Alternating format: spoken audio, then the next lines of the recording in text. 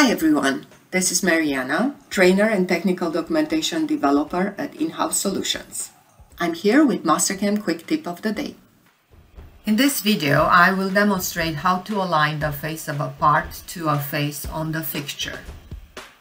The Align to Face command is located in the Model Prep ribbon under the Layout group, Align to Face. In the panel, the method should be set to move and the mode to parallel.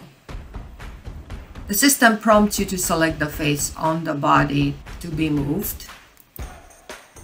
I will also select the edge and then the reference point, the midpoint of the edge.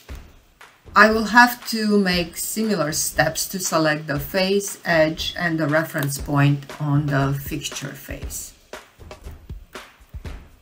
This is the face, the edge. I'll wait for the gnomon and just move the y-axis until I can get the midpoint of the edge. The part is located exactly how I want it. I can just finish the command.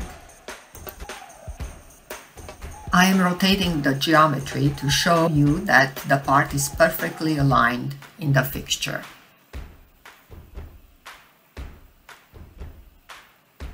This concludes the quick tip of the day.